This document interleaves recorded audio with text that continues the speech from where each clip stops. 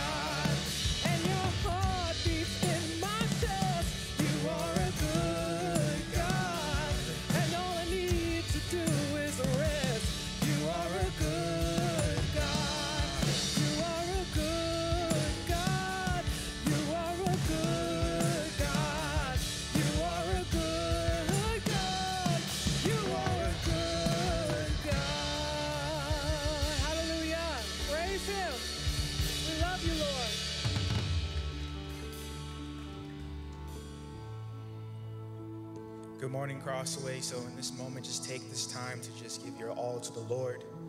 Lift your hands up as a sign of surrender. Remember, with whatever battle you're going through, God is the champion over it. So, do not lose hope.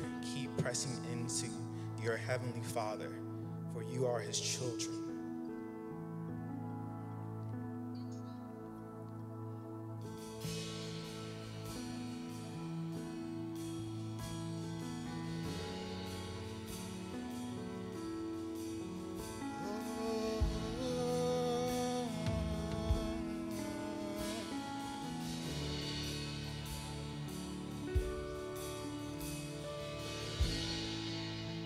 Tried so hard to see it.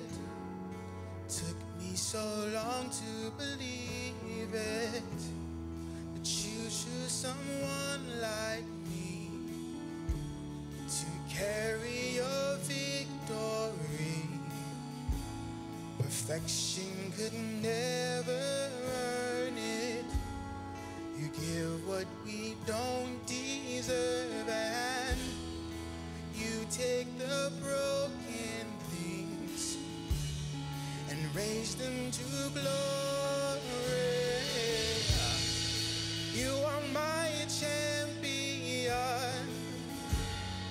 Giants fall when you stand undefeated. Every bout of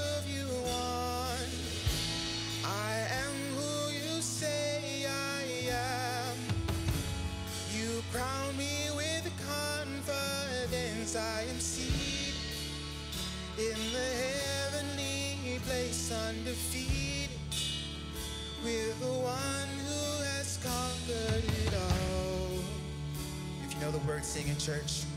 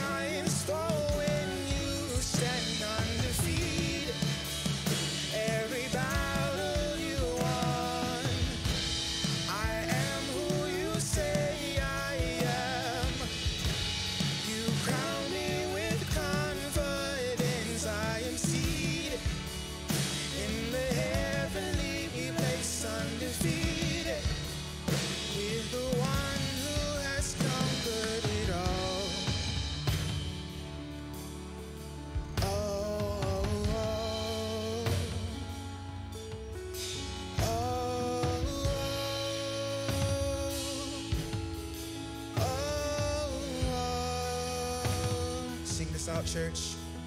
Lift your voices.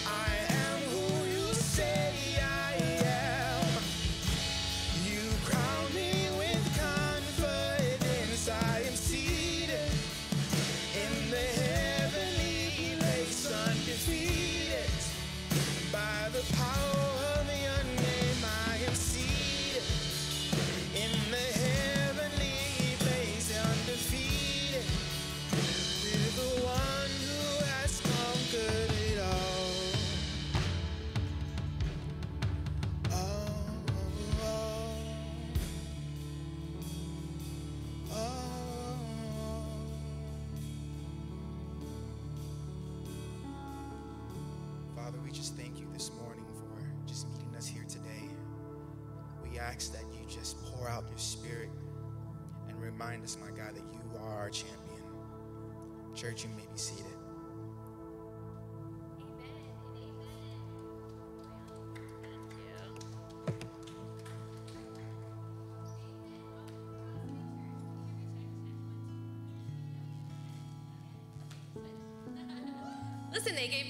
They gave me the, the singing mic. Do you all want to hear me sing? no, you don't. Good morning and welcome home Crossway. My name is Melissa. I'm married to Pastor John, who is actually at Hollywood Community Church this morning bringing Word Habit to their church. How cool is that, right? So we have a very special guest. You'll hear about him in just a few moments.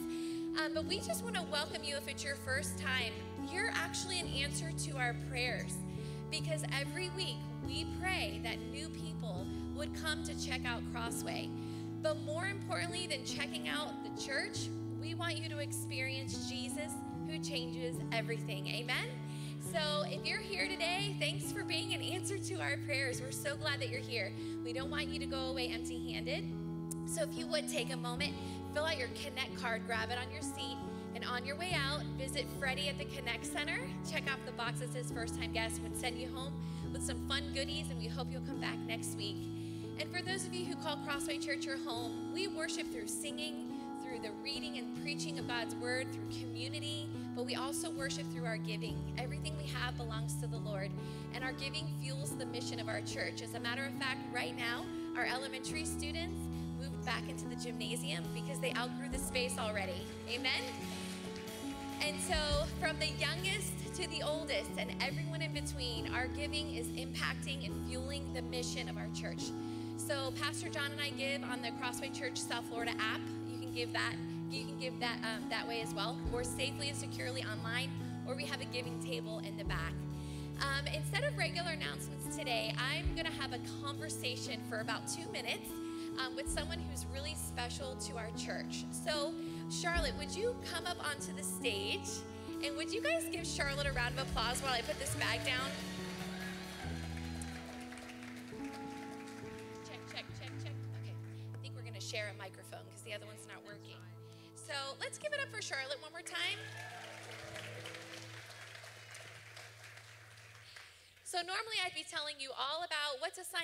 And all the good things that we have going on, but I wanted to have a conversation just for a few minutes, and then we'll go enter into one more worship song. Does that sound good, guys? Okay.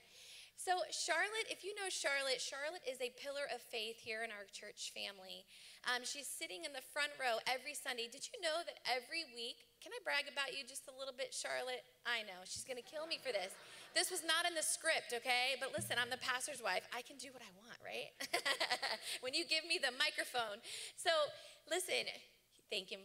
Um, so Charlotte came by the hub, which is not unusual, um, last week, and she was out of town when we kicked off the Our Moment series. If you're new to Crossway, we are taking a big step of faith together as a church family to take our church from portable, which you see here now in a middle school, to permanent. And we believe this is our moment. We believe this is what God is calling us to do so we can be serving in this community for the long haul. And so Charlotte happened to be in Ohio um, when we kicked off the series, and she didn't want to miss out. So she came by the hub to pick up her shirt and to pick up some of the materials, which if you didn't get a shirt or the materials, you can hit the, the table on the way back, on the, in the back on the way out.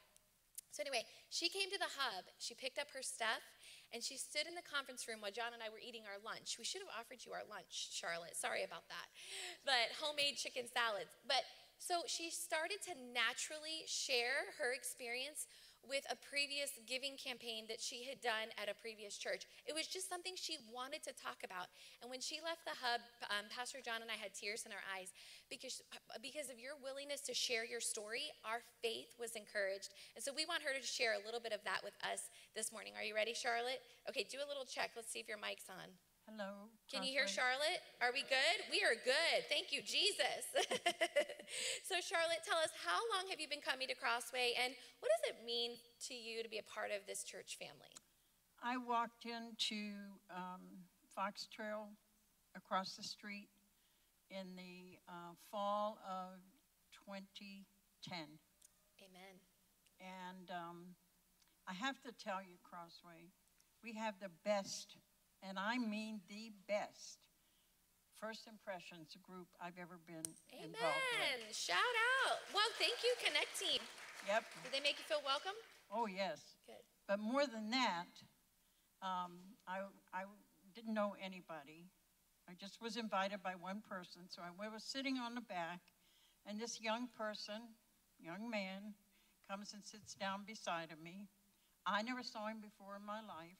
He never saw me before in, my, in his life. But you'll never guess, but it was Pastor John. Young man, that was a long time ago. Well, that sealed the deal.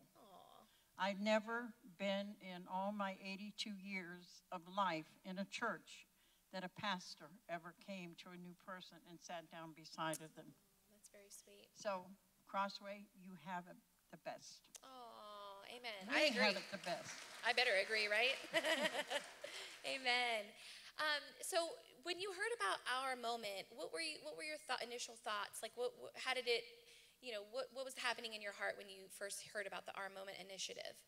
Well, I have been praying for quite a while. In fact, I tried to coerce Pastor John a, a year ago to start this building, um, It's true. tr- you know, and he wasn't receptive at the time. But all of a sudden, I'm in Ohio, and I see, I hear this, the, moment. Yep. the elements. I mean, the stuff that went Video. on here. Yep. And my sister thought I was having a seizure. I was so excited. So, then, you know, this was something that I've been praying and praying and praying for because my sister said to me, 10 years is not a long time. You're a new church. I said, 10 years of setting up and tearing down is a long time. It's time we got out of this element and get into something else. So here we are. Amen. The Lord heard your prayers. Yes. Pastor John just had to get on board, right? Yep. Um, Charlotte, can you tell us um, your experience in a previous church years ago with a giving initiative similar to our moment? Yes, I, um, the church I was in for 25 years, we were always doing something, collecting money for something. But one time it was a, a really good project which touched my heart, and I decided I was going to jump in. So I took the uh, commitment card and I filled it out. And the day that we went, placed it in that little basket, I went and sat down and I said, What in the world did you do? You know you can't afford this. Well, I said, What are they going to do? Kick me out of the church? so I said, I'm going to go and I know that the Lord is going to help me with this. So I have to tell you, as you can tell, I've never missed a meal in my life. So I was, um, every month when that time came to write the check, the money was in my checking account. Amen. Every single month. Amen. So, you know, Amen. I, I just think that. Charlotte, how long have you been a Christian? Oh, I think since I was, I would say maybe 10. So for 72 years, you've been walking with Jesus. Yes. And for 72 years, you've been investing in the kingdom. Has it been worth it? Oh, yes. Amen. Oh, yes. I know where I'm going. Amen. Amen. I love it. So, Charlotte, as we wrap up, final question. What would you say to someone who's listening in the audience who's kind of encouraged by your story, but maybe they're a little nervous or they're in that prayer mode? Because right now we're all in that prayer mode. God, what, what part of the wall would you have me build? Remember that? That's how we kicked off the series. Pastor John had all these bricks on the stage. And what part of the wall? We all can build a part of the wall. Pastor John and I are going to build a part of the wall, and you can too. So, what would you tell someone who's in that prayer mode right now as we gear up for Commitment Sunday on the 17th? Like, what would be your encouragement to them? I would say you continue to pray, pray, pray, pray, pray. But that's not all that's necessary. If you do not have the faith that God hears your, your prayers, hmm. and you do not trust Him that He's going to see you through, your prayers are not going to be what you want them to be. Oh, wow. So I would say to you, step, take that step of faith. I did it again. Honestly, I don't know how I'm going to do what I did this time, but I know God knows, Amen. Amen. and He's going to help me. Amen. Thank you, Charlotte. Um, you personally have been such an encouragement, one of the biggest encouragements to Pastor John and I. And I just feel so thankful that you're a part of our church family. Can I get a big amen for Charlotte? amen. Amen. So we're, we're just going to take a moment to pray for Charlotte and just to honor her, and then we're going to continue in worship. Would you pray with me? Stretch out your hand in her direction. Let's just pray God's blessing over her. Jesus, we love you so much, and uh, Jesus changes everything. And I'm so thankful that you've changed my life and you've changed Charlotte's life, and we can be called sisters in Christ. Um, and I'm so thankful that she's a part of our church family. And so, Lord, we stretch out our hands in her direction as a symbol of honor, but also as a symbol to, to shower your blessing over her, Lord.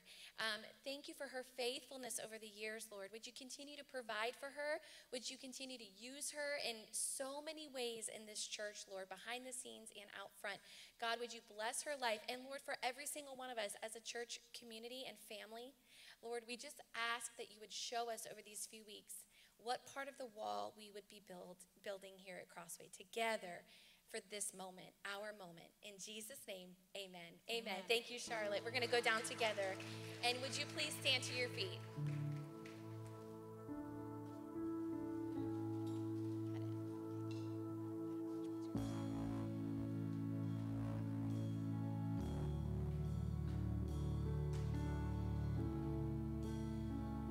If you know the song, please sing it out as a prayer. Lord.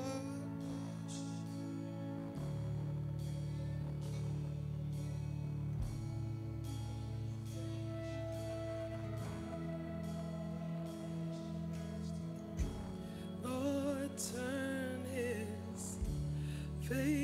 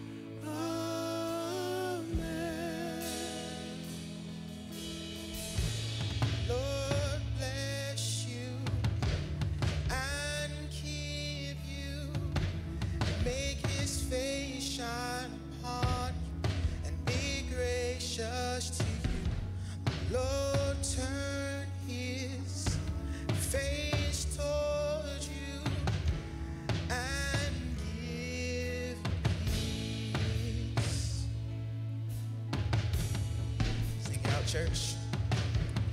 Amen. Amen. Amen. Let the heavens hear you.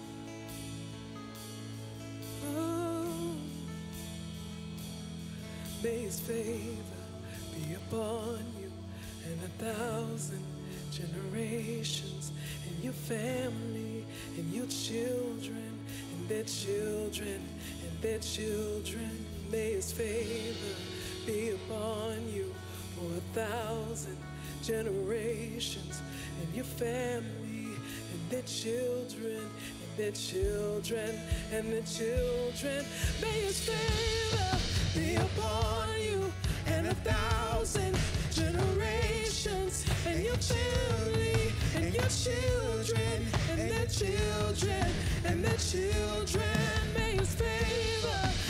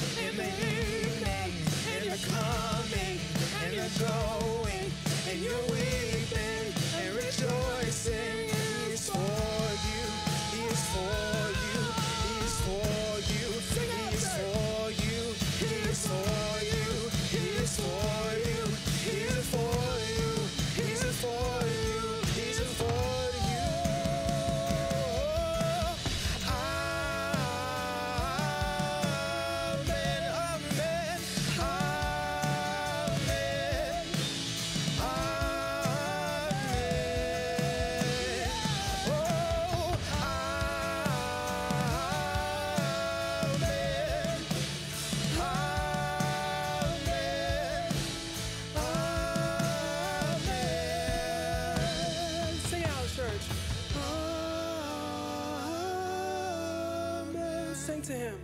Amen. Amen. Praise you, Lord. Praise you, Lord. Amen.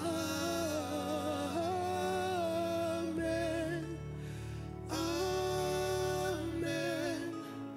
Amen. Hallelujah. We praise you, God. Father, we lift up your name, Father. We know you are for us, Father. You are for us, Lord. You are with us, and we thank you. Thank you for being with us all the time, through our weeping, through our rejoicing, Father. Thank you for our families. We praise you. We rejoice in you, God. We thank you for this church. We pray that you speak through Pastor Barnes this morning, Lord. Let our hearts hear your message, Father. You will soften our hearts. Make us, mold us, Father, into what you want us to be. We ask this in Jesus' name. Amen. Amen, Crossway. You can be seated. Thank you. Hey, Crossway family, how are we doing today? So glad that you're here with us. We are in week four of our teaching series called Our Moment. I want you to remember October 17th, that's two weeks from now. It's a really important Sunday. That's Commitment Sunday, where we all bring in our commitment of what we believe God is calling us to do over the next couple of years as we move towards finding a permanent home at Crossway. That's going to be a special service. So look forward to that. And I look forward to being back with you next Sunday for week five of this series. Now, today, uh, I'm out for a couple of reasons. One is that earlier in the year, I had a friend ask me to launch their Word Habit series at their church at Hollywood Community Church, and I committed to that even before we had this uh, time frame in place. Um, but even more than that, as I was thinking about this series, I thought it'd be helpful for us to have someone from the outside come in and speak to our moment. And, and the reason why I think that's helpful is because sometimes as a church, we, we just think about Crossway and we think, well, you know, here's what we're looking to do and here's what we want God to do and can God do it and all this. And so I think it's helpful at times for us to hear voices uh, from people who have been through these types of things that we're going through right now, been through big moments of faith, and have seen God provide on the other side. So I am so thrilled. Uh, for our special guest today, it is Dr. Bob Barnes. And many of you know Dr. Bob Barnes, but he is the president of Sheridan House Family Ministries. He was an interim pastor for many years in South Florida, I think 20 plus churches he was an interim at. Um, and he's, he's been one of those guys who's been a consistent, faithful voice for Jesus in this community for a long time. And he's a guy who has seen the provision of God over and over and over and over again. As a matter of fact, one of the great privileges of my life is that every now and then he and I get to sit down for lunch. And every time we sit down for lunch, I'm not making this up, I leave filled more with faith because he keeps reminding me of ways God has provided. He provided here, he provided here, he provided here. And it just stirs my faith. And so I thought, man, this Sunday, um, if I could have a voice from the outside, I'd love to have Dr. Bob Barnes come as someone who's been there, seen God's provision, speak to you and encourage and challenge your faith and trust in the Lord. So, so thrilled to have him here today. And last thing I'll say is this today happens to be Dr. Bob Barnes' birthday. So I thought it'd be really fitting before he starts to speak. Could we all, would it be okay? Could, could we all just sing happy birthday to him? Would that be all right? So I'm going to sing, but it can't just be me. You need to join with me. Let's do it together. Ready? Happy, Happy birthday, birthday to, to you. me. Happy birthday, Happy to you. to Happy me. birthday, Hap- dear Dr. Bob Barnes. Happy birthday, Birthday to, you. Hey, we love you, Bob. Thanks for being here today. Ah. Hey, Crossway family. Well, actually, I came out early because I wanted to hear what John had to say. And I don't know if you noticed, but the mere mention of my name and his eyes went closed. It's, it's kind, of, it's kind of like the thought of having Barnes in the pulpit means people fall asleep or something like that. I don't know. And I want to say to Charlotte, who did not want to come up here and do what you did, you should do the whole message. That was unbelievable. Yeah, we were talking beforehand, and I don't want to do this, and uh, you were amazing up here. So you encouraged me. Thank you. We are going to talk today, and this is a, a, an interesting topic for me because I grew up in the home of a very wealthy businessman in New York. And uh, in, in that home, my dad went through the Depression, so money was everything to him. Money was all security to him. He had a phrase that I heard over and over and over and over Bobby, money makes the world go round. And if he trained me in anything uh, on the good side, he, he, he required us to have a budget. He, we got an allowance starting at six, and I'll never forget my first interview in front of him for the allowance. Would you rather have, and I think we have a slide to show this, would you rather have a dollar a week or we'll start with a penny and double it every week? Which would you rather have? I should have asked my dad, you go calculate the whole thing when you want. I should have go asked my dad, you know, a dollar a week, that's 52 weeks, that's $52. By the end of week 28, it's $1,342,000. And what he was teaching me was just don't jump, think, ask, come to me, ask questions, Bobby, come and ask questions. And so the bottom line here, it was his financial security. And can I say, I came to Christ at 20 years old. I'd never been in the door of a church. And I came to Christ on a college campus. I was a sophomore, and there was a beautiful freshman named Rosemary there who wouldn't go out with me, which was a shock to me. Uh, I mean, who wouldn't want some of this? I, I, I was shocked. And so uh, I kept asking her out every week, and every week she turned me down. And I finally said to her, um, Why aren't we going out? She said, Because I'm a Christian, and you're not a Christian. There's no future in this at all. And so I, my fraternity brother said, um, She goes to our church. And so I went to church looking like a Christian uh, and, and sat and still didn't get a date with her. And then finally, um, you have to be my age to remember the name Madalyn Murray O'Hara, the founder of the Atheist Party. You're not old enough to remember that, but the founder of the Atheist Party came to speak at our school. I went to hear her, and, and I was so shocked at this woman, how, just how evil she was. And I went and found Rosemary, and she led me to Christ. And it took me a long time to grow, but money was the most difficult. And I remember going out, this was probably, we've been married two or three years, going out to eat with my pastor, uh, Bill Billingsley, and me saying to Bill Billingsley, Do you tithe the net or the gross? And him saying, It depends on who you have the most confidence in. You give to that one first, the gross. And I said, Really? And he said, But you got it all wrong. Tithing is the bare bones beginning. That's just where you begin. That's why it's tithes and offerings. And I said, Pastor, what do you give? And he says, Well, it's really sort of none of your business, but I'll tell you. He said, I started years ago uh, tithing and I added 1% a year. And I'm looking at him. He said, Oh, yeah, I've added 1% a year. And the fun thing is, we never got to know what he, what he uh, gave to the church until I was the interim at Sheridan Hills Baptist Church. And I called for the records and found out he was a 50% giver. Yeah. But way back then, okay, I decided not to tithe uh, and add 1% uh, because I also heard Chuck Swindoll say the same thing. It's, it's just where you begin. Tithing is just where you begin on the radio that season. So I started adding half a percent a year to the penny. And can I say I was, uh, Rosemary was a public school teacher making 18000 back in those days, and I was at, uh, at Sheridan, I was making 9500 So tithing to the penny was hilarious, right to the penny, and then I'd add another half a percent, and then another half a percent. And I remember asking God, how much longer do I need to do this? I didn't hear a voice, but I realized, you know what? I want to get to 20%. I want to get to 20% giving.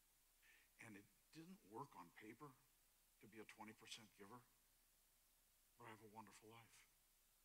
It's unbelievable. Because Melissa said something when, when you were up here. You actually say smart things every now and then. You said something when you were up here. Everything, everything we have belongs to the Lord. Everything we have belongs to the Lord. Everything we have belongs to the Lord. It's not mine. It's not yours. And watching God in this, I want to, if you have a Bible, and you also have a handout that if you want to fill in, uh, we're going to take a look at Abraham. Abraham was very, very wealthy in his original, in, in Ur of the Chaldeans, very wealthy. And he uh, gets, a, gets a call from God to leave comfort and start to go. And the amazing thing is, well, I'm going to read first from uh, Genesis 12:1. Now the Lord said to Abram, he was still Abram then, which ironically means father of many. He had none. And Abraham means father of many, many. Was, that name was changed before he had his child. It was, it was God letting him know, I got this, but, but I'm 90. I got this. I got this. Now the Lord said to Abram, Go from your country and your kindred and your father's house to the land I will show you. And I'm, if I'm Abram, I'm going to say, um, could I Google it first? Just go and follow. Just go. Yeah. Yeah, Moses, just follow the pillar of smoke and the pillar. Go. And, and, and I love the statement. Don't know, don't know if I can, but know that I should, basically, you said, Charlotte. It was amazing statement. Yeah. Do we really trust God? Or do I trust my bank account and the security of my bank account? And can I say, America, this is the time for the revival. And can I also say, America, I have to believe it's Broward County is where it's going to start. We're one of the healthiest ethnically counties in the country. You know, one of the new things that Marco Rubio came out with, the Southwest Broward is the first place in America where the non-Anglo has more education than the Anglo. It's amazing. A lot, a lot of you nodding your heads and knew that. This is it. So the church has never been more important than right now and right here where you guys are. Yeah, right here in, in Southwest Broward. Yeah. And he goes on to say, and I will make you a great nation, and I will bless you and make your name great, so that you will be a blessing. I will bless those who bless you, and, and him who dishonors you I will curse. And in all the families of the earth shall be blessed. You and, and in you. So verse 4 is amazing to me. He went. I mean, can we discuss this? No, he went. He just got up and went. This is so far out of my comfort zone. This is so risky with all the things I have back here. He went. He left. The greatest, greatest faith moves are when we push back from the things that we keep in our little treasury in our heart and just keep Jesus there and use the rest Open, let it go, and use the rest for the glory of God. For the glory of God. It's, it's so interesting because um, we used to have a campus in Hollywood and we outgrew the campus and we were looking for property and couldn't find any property for Sheridan House. And we found a 27 acre campus uh, way west of here. And the academic village got it before we could on, on Sheridan Street. And I have three board members that said, you know, there's a basically a 60 acre piece of property on Flamingo just south of 595. And I said, okay. And they said, it's up for sale. And I said, do you know what they want for it? And they said, yeah, they want a half a million an acre. And I'm looking at these guys, half a million $30 million. And it was Rick Hornsby that said to me, let's just go ask. Let's just go make it an offer. And the guy had bought it to build factories for vitamins, the GNC vitamin guy, factories for vitamins to send to South America. And there's not going to be a factory built in that part of this town. And so he was ready to sell, and we sat at the table, and I couldn't look up at him. I had to look down at the table. Instead of 500,000 an acre, I offered him 50,000 an acre. And I, I couldn't even look him in the eye. And uh, I know God had to to the angels, watch this. This guy's such a coward. This is unbelievable. So he counters with 53,000 an acre. Yeah, I have no idea where he came up with that number. Maybe that's what he had in it. And they're ecstatic. I'm ecstatic. We go to lunch, and it just took me five minutes to not be ecstatic. And we're at lunch, and uh, another guy with us, all three of these guys were businessmen. Another guy says, You don't look happy. I said, We just committed. I know it was 30 million. We just committed to 3.1 million. What were we thinking? And they said, How much does House have? I said, We have $10,000. yeah, I wasn't laughing like you. Yeah. And then it was my son calling from college hearing. And he said, Dad, why do you think Jesus has had you be in 23 interims? I said, I don't know. I'm sure you're going to tell me. Go to each one of those interims and ask them to buy an acre. And some bought two. The thing I feel bad about is there are people now that come in from all over the country. A group came from Willow Creek some time ago to ask, we want to talk to you about how you do all this fundraising. We want to talk to you. And I, I have to say to them, I don't. Don't come. And they came anyway. And they wanted to know, how did you come up with, this ministry? I said, I didn't come up with that ministry. You mean the single mom ministry? No, I fought it. Single mom ministry in the early 70s, I was driving every Monday morning at 6 a.m. to get free groceries from Publix. And honestly, I had an attitude. Four degrees in psychology, and I'm grocery man. I had an attitude. And, uh, oh, Jesus loved this. So I'm doing that, and we got groceries for our one little boy's home, and they're in a, in a big room, and, and a single mom in Pompano hears about it and calls and says, can you share your groceries? And I didn't want to share them, but I didn't know how to not share them. And I shared the groceries, and then she told other single moms, and they started coming down and asking for groceries. And, and then, I, in, in the humor of God, Publix on Davie Boulevard calls and says, can you do the same thing 6 a.m. on Wednesday mornings at that Publix? And so I'm doing that, and I'll never forget Beverly comes. And I'm wheeling it out. There are only three employees at that time, so there are three cars in the parking lot and mine. And her car's not there. I said, Beverly, where, where's your car? She said it got repossessed. My ex didn't make the payments. It got repossessed. Uh, a friend's going to pick me up. And then she looks at me and she says, do you, do you ever get cars donated? And I almost flippantly said, no, but you pray about it. We get a car, it's yours. That was 10 in the morning. Four in the afternoon, we got a call at the hospital administrator at Memorial Hospital saying, Barnes, Barnes, I just went to trade my wife's car, and it's only three years old. It's a Volvo, and I can't believe what they think it's worth. And my CFO here said if I give it to Sheridan House, I can do better with the tax write-off. Come get it before I change my mind. So I'm driving over there with somebody from Sheridan House, and, and oh, this is all him right here. And honestly, one thought came to my mind. I can't even believe I'm sharing this with you. I was driving over there in a 12-year-old Chevy to pick up a three-year-old Volvo. but she would never let me do it, and neither would the, neither would the, the government. So, no. But I, I'm embarrassed to say that went through my mind. And so I, she came to get the car after we figured out how to change the title. And she wasn't surprised. She wasn't surprised. We're supposed to risk. So today, Sheridan House works with 4,000 single moms and their kids. We get a truckload of groceries every day from Trader Joe's. And for six months, we were picking the truckload up in two pickup trucks. And all of a sudden, the manager and the health department person calls for an appointment, comes over and says, I'm sorry, we can't give you groceries anymore. And we say, why? It's because you can't pick up groceries and put them in the back of a pickup truck. And I said, whoa, come with me, come with me.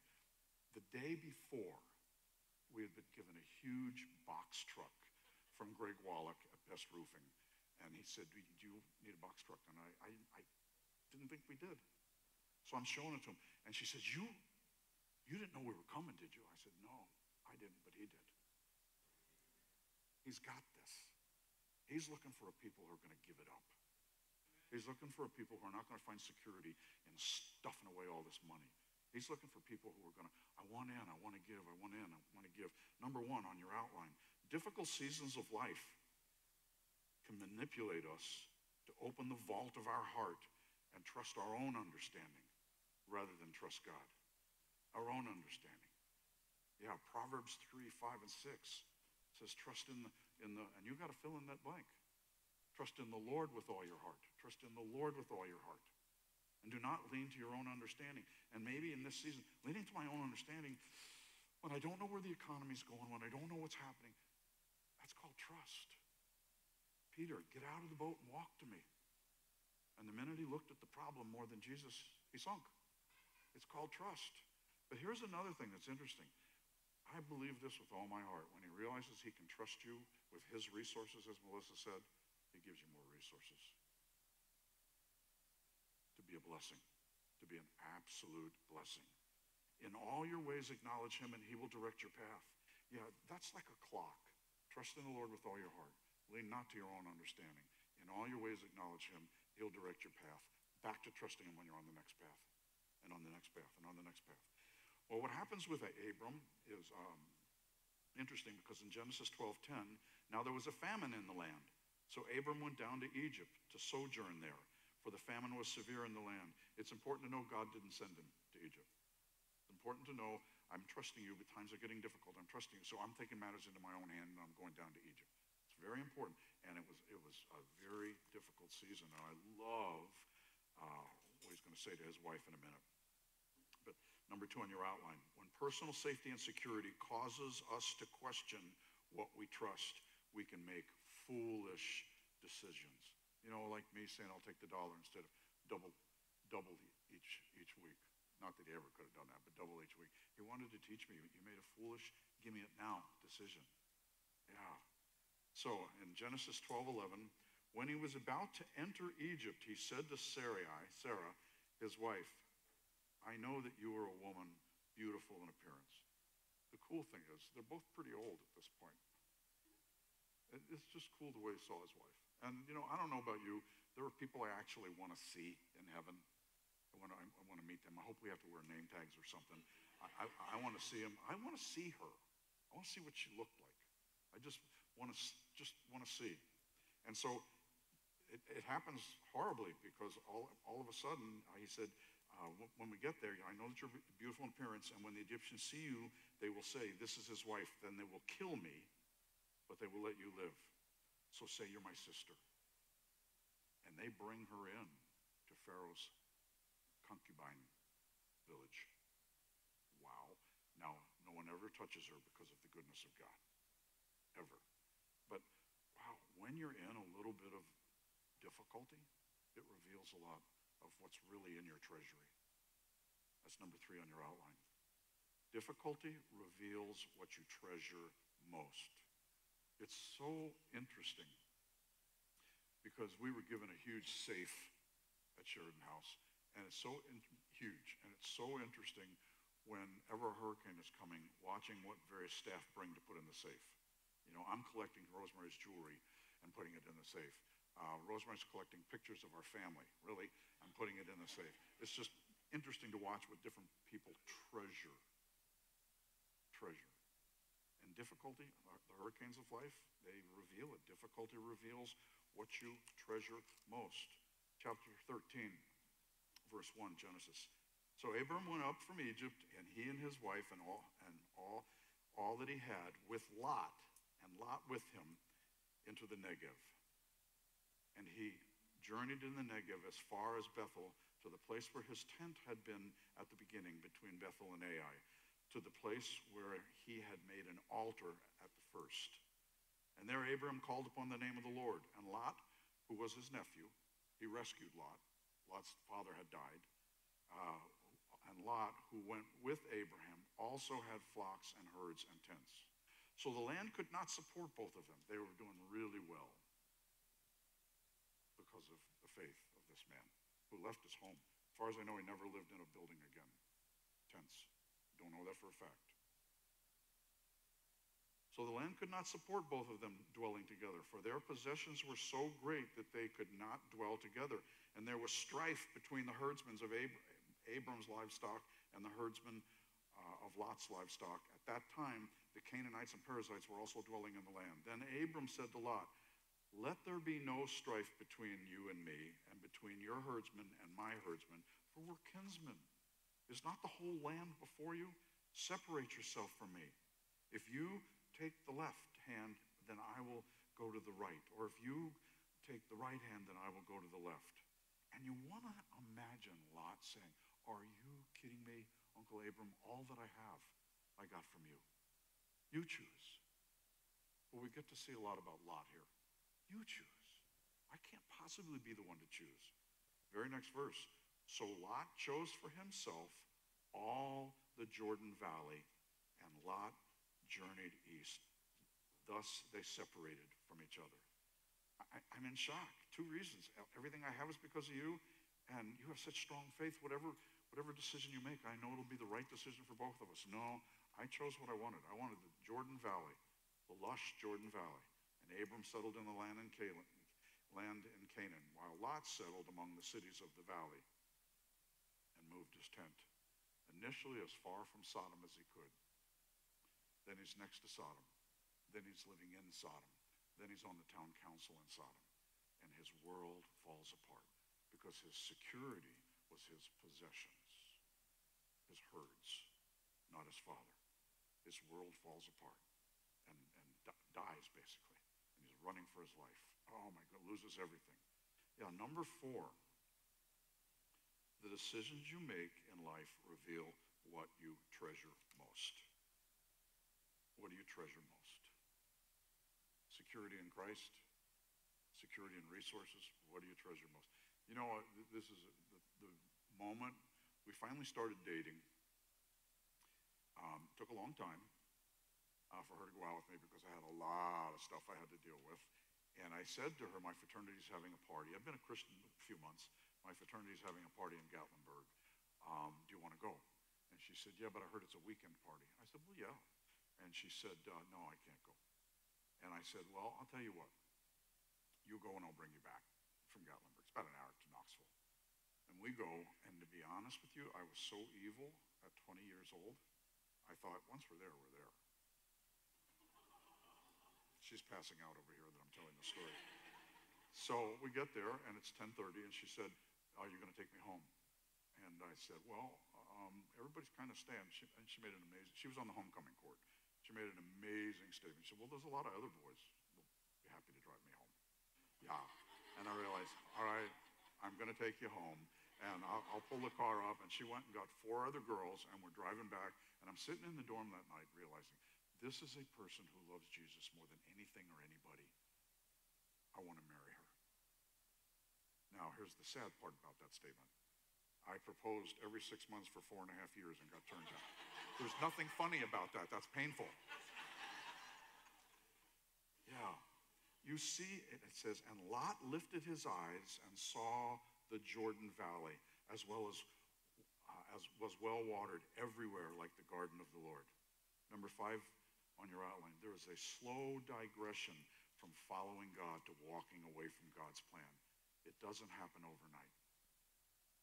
It doesn't happen overnight. Starts with Abram lifted his, uh, uh, Lot lifted his eyes. Letter A, eyes. Lot looked up and saw the valley rather than looked up and knew God was there. My eyes. King David. King David was an amazing man wrote much of the Psalms. He was absolutely incredible. But he was incredible when he wasn't king. And when he became king and treasured his position, he was not a nice man. Five wives, 200 concubines. Bathsheba, not a nice man. We have to, and that's King David who wrote much of the Psalms. We have to be constantly on guard. Constantly, constantly on guard. Yeah, first his eyes and then let her be his mind. Lot looked and thought about it. When it, when it says he saw, means he realized. He thought about it. Yeah. So, in uh, in the early 1980s, I, I wrote my first book, which is I was number 588 in the class of 1200. It's a miracle that I wrote anything other than a comic book. But I wrote my first book, and it came out in October, and uh, I would buy the books. I would go do my little speaking things and sell the books, and we'd get the money um, because Rosemary is now a stay-at-home mom at that time. And so my mentor, Dr. Wendell Hawley, calls from T- Tyndale House, calls from Chicago, and says, so I know that we're giving it to you at the author's price of 50% off, but I want to challenge you. Why don't you let Sheridan House have the money from, book, from your book? And if you do, we will sell it to Sheridan House for 90% off, $10 book for a dollar. And look what Sheridan House will make. And I, and I, I, made $500 that, that year with the book. And so I thought, you know, okay. And this is one of those things where how much would cause you to change your mind? So in February of that next year, James Dobson picked it up, and Chuck Swindoll picked it up, and Gary Smalley picked it up. And uh, it's go- gone into its seventh printing, and it, by the end of the year, it made $100,000 for Sheridan House. And Dr. Hawley knows me so well. So we're going into the next year. Are you still going to do the same thing? And I said, um, can you give me a week to pray about it? $100,000, really? I didn't say the $100,000 part, but it was just like the angels had to be looking down at the throne of God. Is he kidding? All that he has, you gave him. Is he kidding? And you know what's been amazing? At this point, it's Sheridan House has made a million three. Wow. 588 in a class of 1,200. Not possible. And I promise you, if I kept the book money, it'd have gone down to print in two, two years. This was a test for God, testing me. Yeah, mind. And then action. He chose, it says. So Lot chose for himself. Chose. Yeah. Eyes, mind, action. And here's the amazing thing. He ends up in Sodom. He camped first near Sodom. I'm just looking, I'm not touching. I'm just clicking on for just. Men, be very careful. Satan prowls like a roaring lion getting us to go on the internet and look at bad things. Be very careful. Which is why my computer screen faces a glass wall in my office with both of my admins looking at all times what I'm looking at. Be very careful. Yeah, camp near Sodom, and then he ends up living in Sodom. Living in Sodom. What makes you secure? What makes you feel secure? Yeah. Number six, what you look up to will guide the steps in your life. Yeah, options. Letter A. Lot looked to material gain for his security because Lot felt it was his.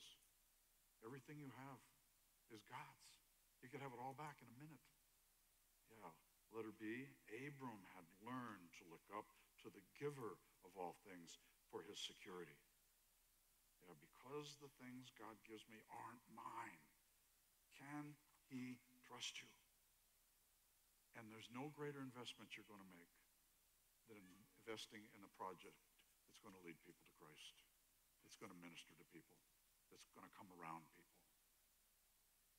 There's no greater investment you'll ever make and you'll hear about it in heaven.